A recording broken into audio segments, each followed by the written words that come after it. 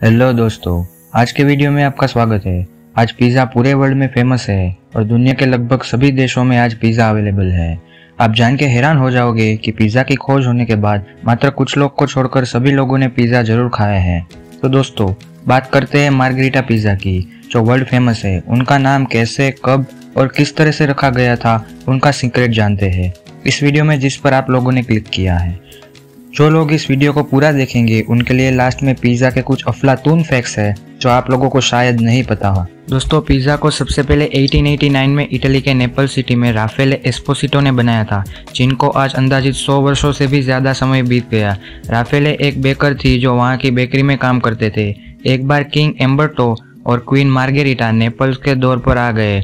उनको फ्रेंच खाना बहुत पसंद था, इसलिए उन्होंने ज़्यादातर फ्रेंच खाना ही सर्व किया गया था। एक टाइम ऐसा आया कि किंग और क्वीन दोनों फ्रेंच खाना खाकर थक गए और बोर हो गए। इसलिए उन्होंने कुछ नया खाने की फरमाइश की। तब राफेले एस्पासिटो को बुलाया गया, जो कि वहाँ के अनुभवी बेकर थे। तब राफेले ने इन दोनों के लिए इटालियन फ्लैग के रंगों में वर्ल्ड का सबसे पहला पिज़्ज़ा बनाया।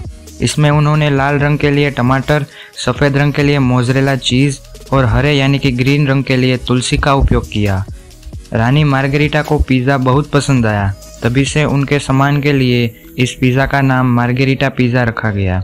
ये पिज़्ज़ा आज भी दुनिया भर के खाए जाने वाले पिज़्ज़ा में सबसे लोकप्रिय और फ़ेमस है। चाहे पिज़्ज़ा हट, डोमिनोज या लापिनोज, मार्गेरिटा सबसे स्पेशल पिज़्ज़ा माना जाता है। तो कुछ इस प्रकार मार्गेरिटा पिज़्ज़ा का नाम रखा गया, जो कि वो दुनिया का सबसे पहला पिज़्ज़ा था, जो राफेले ने बनाया था। अब जो लोग लास्ट तक वीडियो देख रहे हैं, उनके लिए पिज़्ज़ा के कुछ अफलातून फैक्ट्स हो जाए। फैक्ट नंबर वन अमेरिका में एक सेकंड में 350 स्लाइस पिज़्ज़ा खाया जाता है। अमेरिकन पिज़्ज़ा खाना बहुत पसंद करते हैं और नेशनल एसोसिएशन ऑफ़ पिज़्ज़ा के मुताबिक अमेरिकन रोज़ाना 100 एकड़ के बराबर पिज़्ज़ा खाते हैं।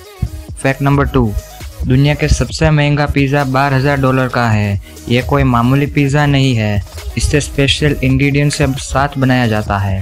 फैक्ट नंबर थ्री अमेरिका के 36 प्रतिशत लोग ब्रेकफास्ट में पिज़्ज़ा खाते हैं। अमेरिकन पिज़्ज़ा को ही सबसे बेस्ट ब्रेकफास्ट और मील मानते हैं।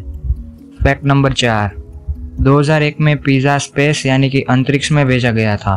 रशियन स्पेस एजेंसी को एक मिलियन डॉलर दिया गया था सिर्फ़ छः इंच पिज़्ज़ा की डिलीवरी करने के लिए। मैं आशा रखता हूँ कि ये वीडियो काफ़ी नॉलेजफुल रही होगी। मैं ऐसे ही इंटरेस्टिंग और एजुकेशनल वीडियोज़ अपलोड करता हूँ। अगर वीडियो बेस्ट लगा तो लाइक करना और सब्सक्राइब करना भी भूलना मत। धन्यवाद। मिलते हैं अगले वीडियो में।